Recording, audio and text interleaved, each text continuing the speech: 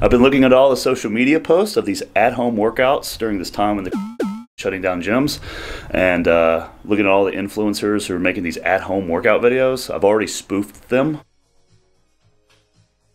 Now, if you think this is your only option during this time when gyms are closed, you've been looking at Instagram too much. So, a lot of these influencers are our friends who are showing off like these sofa lifts and these chair squats and stuff.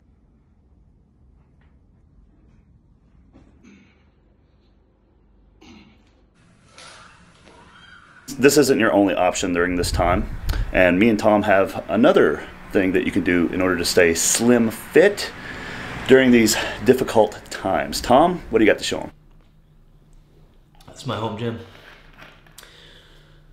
I just found an empty building and put a bunch of stuff in it. I've been seeing a few odd posts lately on the Instagrams. And I mean, Larry's and Julian Smith and Chris Bumstead's, those are just kind of funny. They were just poking fun because those guys have a gym. We know that. Oh, man, the real good ones are in the hashtag home workout. We got 2.4 million posts in this. This lady has uh, put dishwasher detergent on the ground and is now using it uh, as a makeshift treadmill. Please don't do this. Just going like this, right? Can't you do that on any slippery surface? Whole hell of a lot of people doing core exercises on a yoga mat. And we're actually gonna give you guys some, some body weight stuff if you don't have any home gym equipment. But stuff that I like, more like uh, gymnastics stuff. That's uh, more skill-based, more fun. I saw this lady with a watermelon earlier. This, this guy's holding his dog as weight. Dude, your dog, this dog weighs two and a half pounds.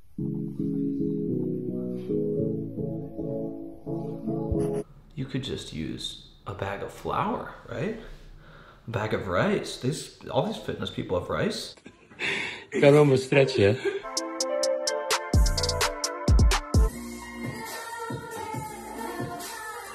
All these people using pets, are they adopting these pets? Are they fostering these pets just to just to get a workout in? Like, hey, foster a pet today, man. You got they'll act as weights too. See, that's a good idea. Nine months from now, the babies are gonna be massively increased, right? And they're gonna be Corona babies, coroners, I think. Uh, but then you could also use the baby uh, as a workout material.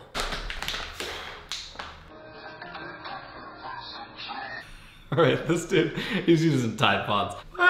Fireplace, is he gonna tell me how to be a millionaire next? This lady just put a bunch of clothes in a suitcase couldn't you put anything heavier? It, it, this thing weighs maybe, maybe six pounds. I really appreciate this guy, Arash Rahbar, for, for making these do-it-yourself dumbbells and talking about it. This cardboard with the toothbrush, you can really tie it to anything and get creative. Seriously, dude, go to your grandma's basement, grandpa's basement, go to Craigslist. You can get a dumbbell for free or for $2 and then it sits in your house and, then you use it in the next, next pandemic. I'm on a kombucha only diet right now.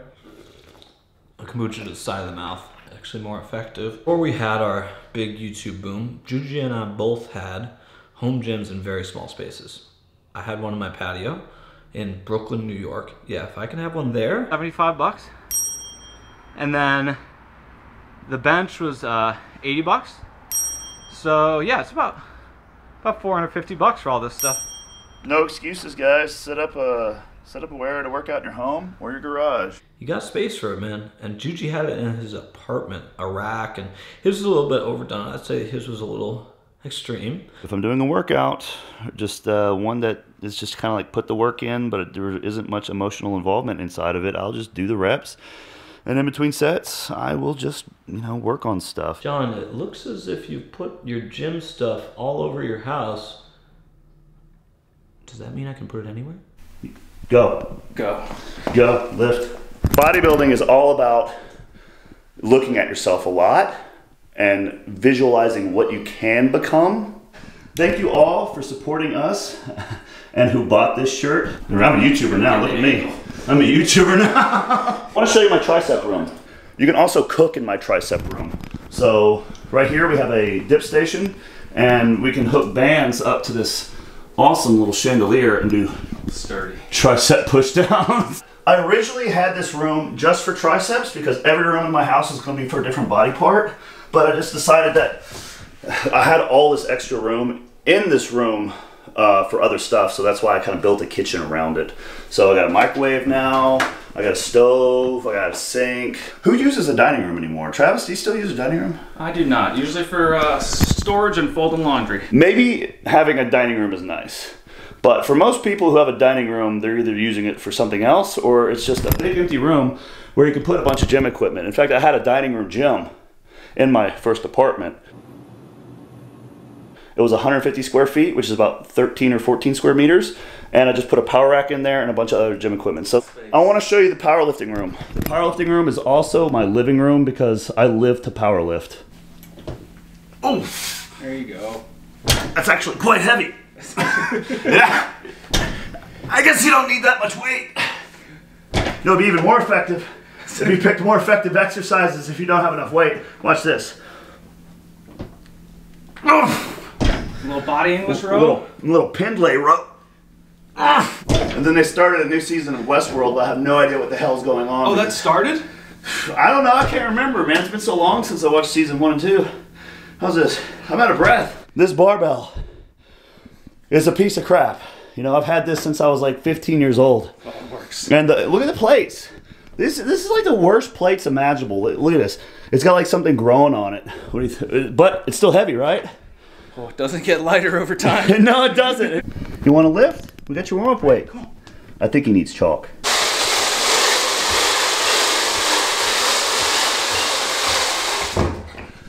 I mean, it's either this or up and down my driveway, but you know, I figured this way I wouldn't be bugging my neighbors as much. Ah.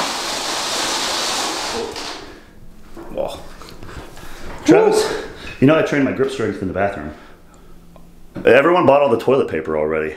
It's gone. Uh, so I just put some grips, grippers here. So just, just squeeze it out right here.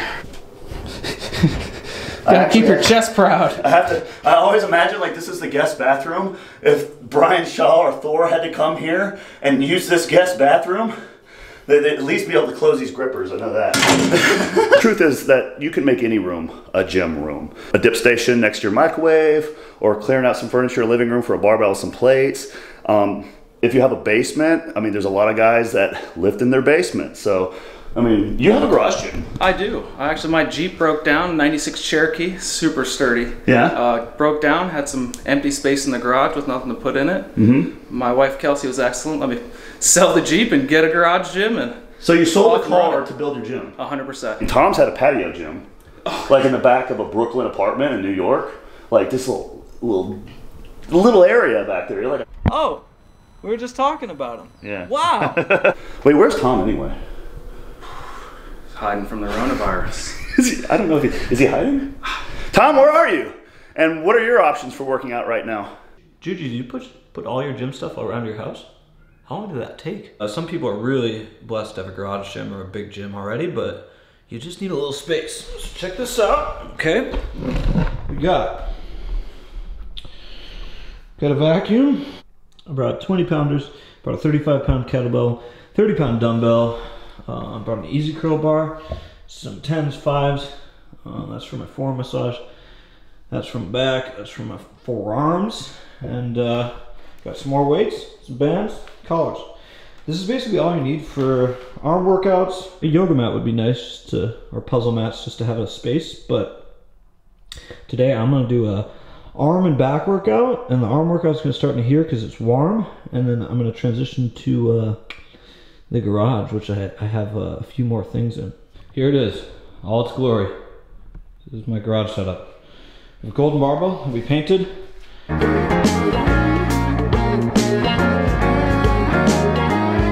This is my barbell of choice. I have some 45s, 35s, and I got some grip tools. Little dark. Belt if need be, but probably not to be need bees.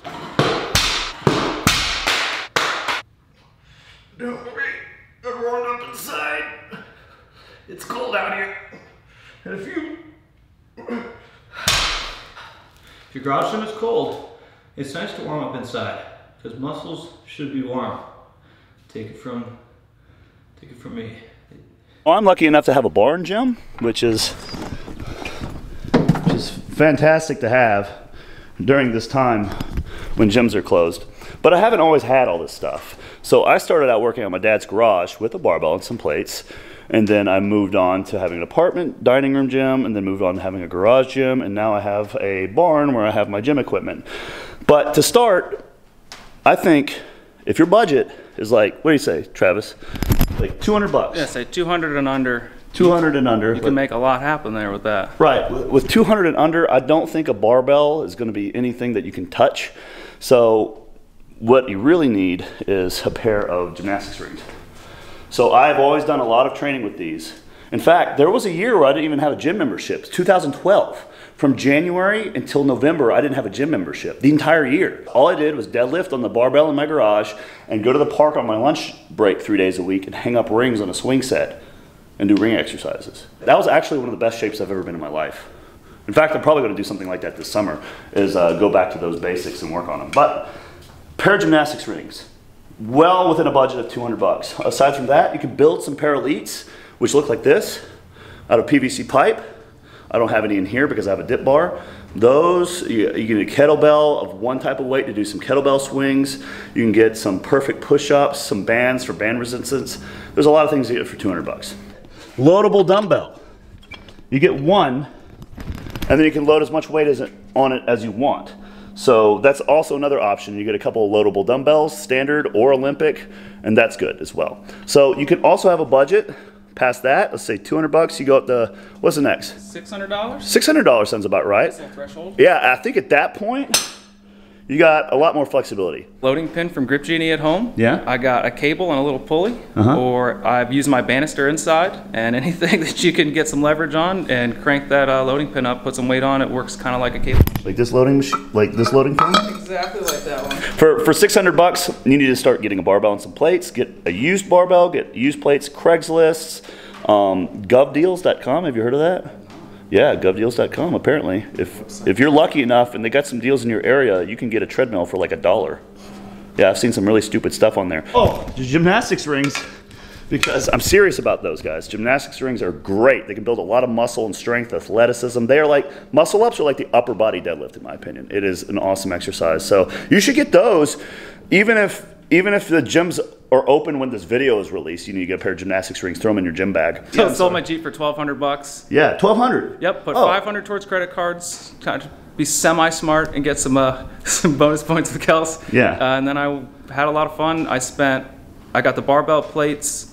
Um, I had some leftover plates because all I had before that was a curl bar. Yeah. I made myself do that for 90 days. Figure if I didn't quit doing that for 90 days, I could justify making that next step. And that 90 days gave me some time to save a little bit and help my budget as well. Okay, there you go. You sold. I can't believe you sold a car for build your gym. That's great. And it gave me the room. I had no Yeah. car in the garage. Desperate times call for desperate measures. What, what do I would have had to sell for a thousand dollar budget? Hmm. But uh, Tom is going to have some good recommendations for squat stands, power racks, and things like that. He's been doing a little research on what you can get for a thousand dollars. Check that out. I think the main thing is that what's missing from a home workout from that these influencers are recommending to you versus what you can get at a gym is load. So like maximum tension. So either get that with more weight or you get that from changing the leverages. So uh, rings, for example, changes the leverages. You can do planches or weird holes or things on that, which are really hard from like a leverage standpoint. Whereas a barbell, you can just load it up with as much weight. You can't get that lifting a sofa. You can't lift that holding an ottoman and doing squats. But let's say, you know, you don't have any of that equipment yet. You just ordered it. You got to wait a week or two weeks because delivery times are messed up right now because the uh, the transportation systems are. Dude, I looked at Amazon the other day, and I was just trying to buy like a meat plate, and it says order it in the next uh, order it within the next hour, and you're gonna get it. It's like 15 days from now. 15 days. Yeah, that was Amazon Prime. I was like, are you kidding me? I was like, because the essentials are needing to be delivered right now. I understand it makes perfect sense, but delivery times are a little bit messed up, so you're probably gonna have to wait no matter what you go out and get. In the meantime, if you're having to do body weight exercises, I do have some recommendations. One is don't count reps, count time. So push ups, instead of going like 50 push ups, do push ups for two minutes. Rest, pause. So you rest, you do some more. You rest, you do some more until two minutes passes. That's gonna be hard as hell. right? Absolutely. I think that's gonna be a lot a lot harder than counting reps. And then you do like four sets of two minutes. You've gone to failure multiple times and past failure. That's actually gonna that's actually gonna give you some pretty good training. Like split stance training. It's martial arts. Martial arts, dude. I'm a black belt. Trained in a room with just a bunch of puzzle mats with no equipment all the time. Um, we didn't even need sparring. We were talking about kata, just like punches and kicks for reps and stuff, and just as hard as you can. Martial arts are great. Um, I wrote a flexibility book, Legendary Flexibility. You don't need equipment for that. Uh, you can't swipe up. It's YouTube. this is a perfect time to train flexibility. You can get full splits like in a couple months from zero. If you train it right with my methods, you can. For that, all you need is a chair and like a strap for maximum training advantage. There's a lot of options you have for body weight training that aren't lifting a sofa or a chair or something. And then gymnastics exercises, like core exercises and stuff like that. Tom has got some of those. He's been doing a lot. I forgot about that. Tom, what you got? Is this what you feel like when you're filming these things? Boom. There's a gymnastics variation that leads to a straddle to handstand. And you can do it against a wall, or you can do it freestanding. But it's kind of like a hanging leg raise, but without a bar. So you can start it with dead. There's the uh, what is this? Dead, dead person, dead fish, dead, dead fly. What is this? Dead horse. I like this because it trains headstands. You get balance, you get flexibility, and you get core strength. So go up in the headstand, take your time, and then come down.